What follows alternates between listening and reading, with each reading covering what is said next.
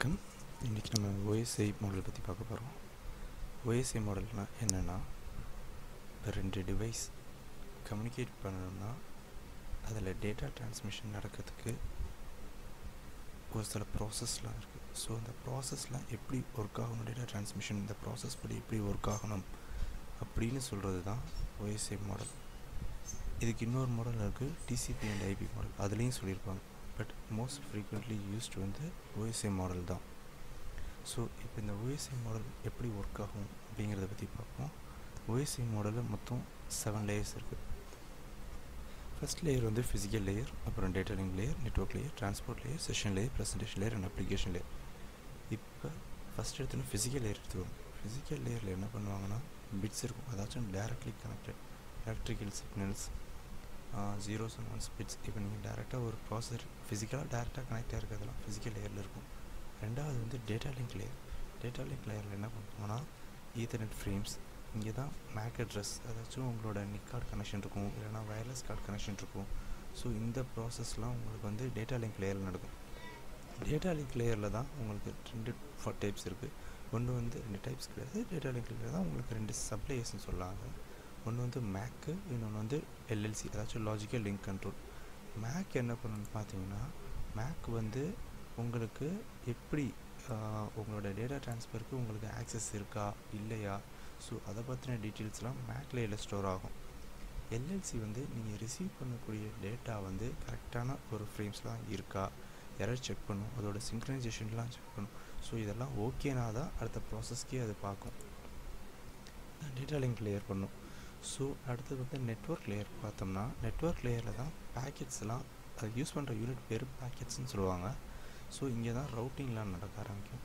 இங்கே தான் உங்களோட IP layers that is IP packets உங்களோட பிங் ரெஸ்பான்ஸ் இது எல்லாமே இங்கே தான் நடக்கும். அதாச்சும் உங்களோட ஒரு நெட்ஒர்க்லேருந்து இன்னொரு நெட்ஒர்க் அதாவது ஒரு சப்நெட்லேருந்து இன்னொரு சப்நெட்டுக்கு நீங்கள் ட்ரா டேட்டா ட்ரான்ஸ்மிட் பண்ணணும்.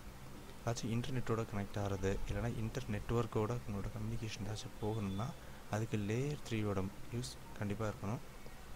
அடுத்தது டிரான்ஸ்போர்ட் லேயர் டிரான்ஸ்போர்ட் லேயர் தான் நேம் சொல்கிற மாதிரி ஒரு இதுலேருந்து தட் மீன்ஸ் இந்த டிரான்ஸ்போர்ட் லேயர் இருந்தால் தான் உங்களுக்கு ஒரு டிவைஸ்லேருந்து இந்த டிவைஸ்க்கு ஆட்டோமேட்டிக்காக கம்யூனிகேஷன் நடக்கிறதுக்கான ப்ராசஸே இதில் முக்கியமாக ரெண்டு விஷயம் இருக்குது ஒன்று டிசிபி இன்னொன்று இடி யூடிபி இங்கே யூஸ் பண்ணுற யூனிட் பேர் செக்மெண்டேஷன் யூஸ் பண்ணுவாங்க. டிசிபி யூடிபியை பற்றி நம்ம ப்ரீஃபாக இன்னொரு வீடியோவில் பார்ப்போம்.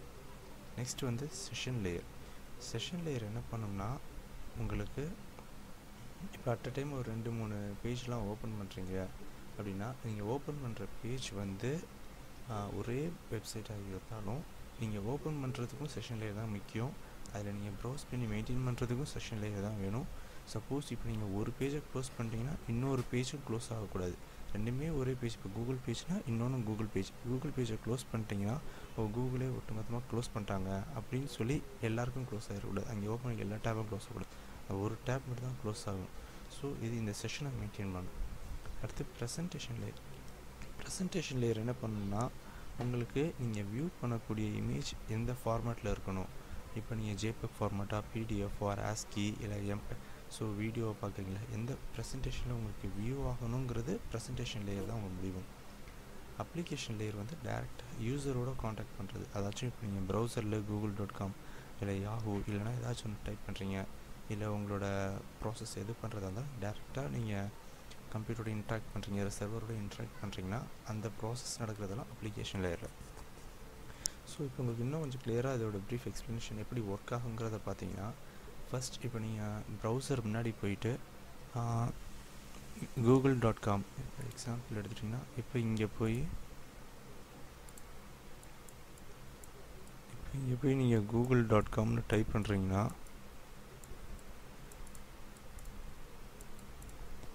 இப்போ இந்த பேஜ் வந்து ஓப்பன் ஆயிரும். இங்கே வந்து யூஸ் பண்ணுற ப்ரோட்டோகால் வந்து ஹச்டிடிபிஎஸ்ன்னு வச்சுக்கோங்க. ஓகேவா? நீங்கள் யூஸ் பண்ணுறாங்க கூகுள் டாட் காம்னு நீங்கள் டைப் பண்ணிட்டீங்க.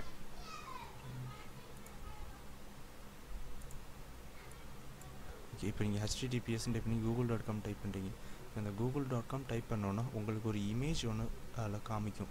ஸோ அந்த இமேஜ் இல்லை நீங்கள் சர்ச் பண்ணுறதோட இமேஜ் ஸோ அந்த இமேஜ் என்ன இமேஜில் உங்களுக்கு தெரியணும் இப்போ உங்களுக்கு இமேஜ் வந்து ஜேபெக் ஃபார்மேட் ஜேபப் ஃபார்மேட்டில் உங்களுக்கு தெரியுதா? ஸோ இதுதான் ப்ரெசன்டேஷன் லேயர் ஓப்பன் ஆகும் சப்போஸ் இப்போ நீங்கள் இங்கேயே வந்து இன்னொரு பேஜ் திருப்பி ஓப்பன் பண்ணுறீங்க திருப்பி இன்னொன்று ஒரு கூகுள் பேஜ் இப்போ நீங்கள் ஓப்பன் பண்ணுறீங்கன்னு வைங்க. ஸோ இப்போ உங்கள்கிட்ட ரெண்டு டேப்ஸ் இருக்கும். ஸோ இது வந்து ஃபஸ்ட்டு கூகுள் பேஜ் இது வந்து செகண்ட் கூகுள் பேஜ்னு வச்சுக்கோங்க.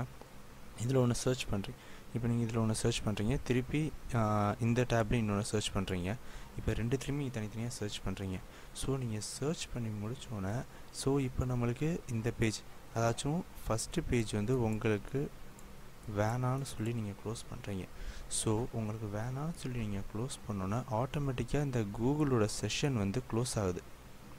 தட் மீன்ஸ் இந்த கூகுளோட செஷனே உங்களுக்கு க்ளோஸ் ஆகுது. இந்த கூகுளோட செஷன் க்ளோஸ் ஆகும்போது பக்கத்தில் இன்னொரு கூகுள் பேஜுன்னு இருக்கு பாருங்க. இந்த கூகுளோட செஷனும் க்ளோஸ் ஆகக்கூடாது. இது க்ளோஸ் ஆகக்கூடாது.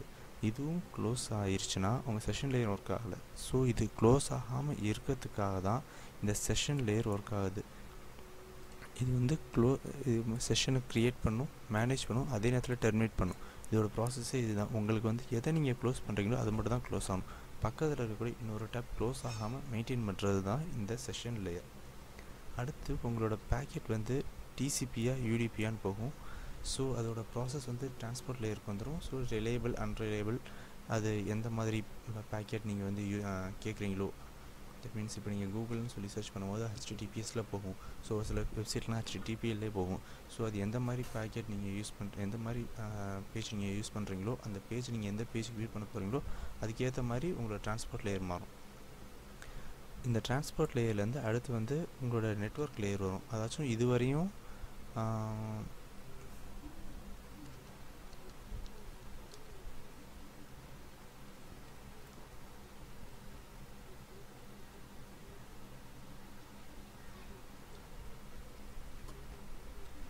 இங்கேருந்து இது வரைக்கும் உங்களோட அப்ளிகேஷன் ரிலேட்டட் தான் ஃபுல்லாகவே தட் மீன்ஸ் இது ஃபுல்லாகவே அப்ளிகேஷன் இது ஃபுல்லாக நெட்ஒர்க் ஒரு ரிலேட்டடில் வராது.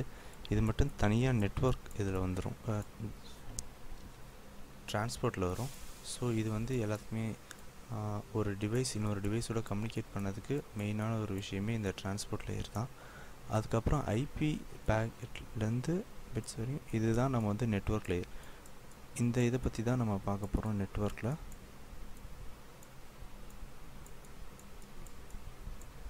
ஓகே இப்போ இங்கே ஐபி பேக்கெட் இருக்குது. ஸோ இப்போ உங்களுக்கு இன்டர் கனெக்ஷன் இல்லை இன்டர்நெட்டோட கனெக்ட் பண்ணுறது இல்லை உங்களோட ஒரு நெட்ஒர்க்லேருந்து இன்னொரு நெட்ஒர்க் போகிறதுக்கு அதுக்கு எல்லாமே இந்த நெட்ஒர்க் லேயரில் தான் பண்ண முடியும்.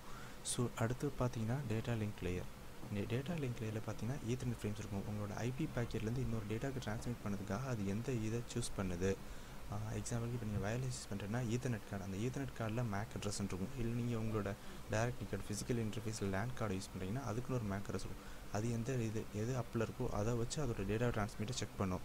ஸோ இங்கே வந்து செக் பண்ணும். இப்போ இங்கே கொடுத்துருக்க டேட்டாஸ் அதாச்சும் உங்களோட நீங்கள் சர்ச் பண்ணது இதுவரை இருக்கக்கூடிய இப்போ இதில் வந்து இந் ஐபி பேக்கெட்டுக்குள்ளே இந்த ப்ராசஸ் வந்துடும் ஸோ இந்த ப்ராசஸ் செக் பண்ணும். உங்களுக்கு வந்து எல்லாமே கரெக்டாக இருக்கா? எதுவும் எரர் இல்லையா?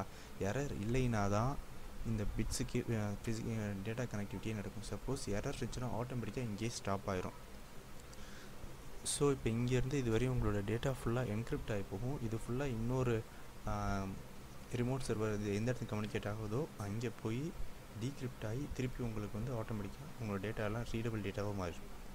ஸோ இதுதான் OSI and OSI மாடலோட process and that's it thanks for வாட்சிங் அன்டில் நெக்ஸ்ட் டைம்